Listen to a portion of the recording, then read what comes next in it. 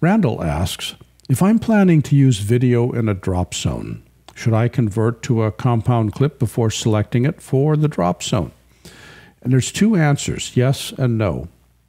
If you are using a clip in a drop zone and you want the image to start at the very beginning of the clip, you do not need to use a compound clip.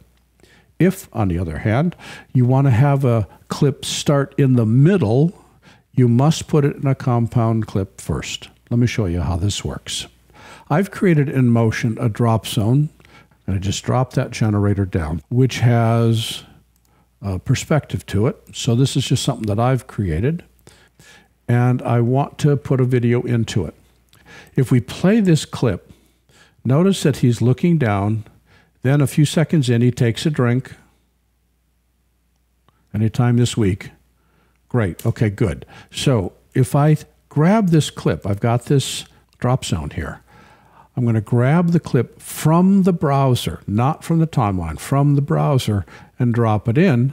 And now when I play it back, notice that it starts at the very beginning of the clip. If I grab the clip in the timeline, it still starts from the very beginning of the clip. But I want this to start not at the beginning of the clip, but just as he starts to put his glass down, right about there. So what I've done is I've created a compound clip by selecting the clip, going up to File, New, Compound Clip, or typing the keyboard shortcut Option G, and notice at the very beginning of the compound clip, the glass is just moving away from his mouth. With that, that's the compound clip. So let's go back to our, our um, generator with the drop zone. And this time, click the X to clear it out, grab the compound clip and drag it in, and it honors the in of the compound clip. So if I want to put video into a drop zone, it always starts at the beginning of the video, regardless of where the in or the out is set, always the beginning.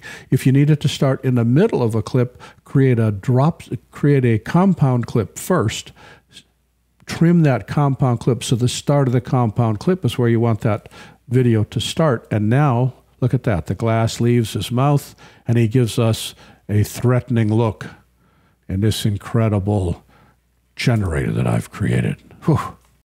This was an excerpt of a recent Power Up webinar called Ask Larry Anything. For the complete version of this online training, please visit my store at larryjordan.com slash store and look for Webinar 376. By the way, when you need to stretch your training dollars, membership in our video training library saves you money and time. You can access all our videos for a low monthly price of only $19.99. That's almost 2,000 movies, hundreds of hours on a wide variety of subjects. Plus, premium members can download practice media and projects. Our training covers a variety of software and we update it multiple times each month. For more information, visit larryjordan.com slash membership and thanks.